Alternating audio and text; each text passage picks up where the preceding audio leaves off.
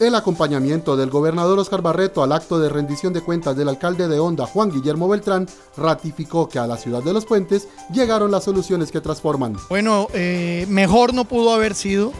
Señor gobernador, estuvo aquí en la ciudad casi cuatro horas, habló con la comunidad, le contamos los avances que hemos tenido en el primer año de gobierno y hizo compromisos en inversiones cercanas en los próximos dos años a los 3 mil millones de pesos una cifra para nosotros alentadora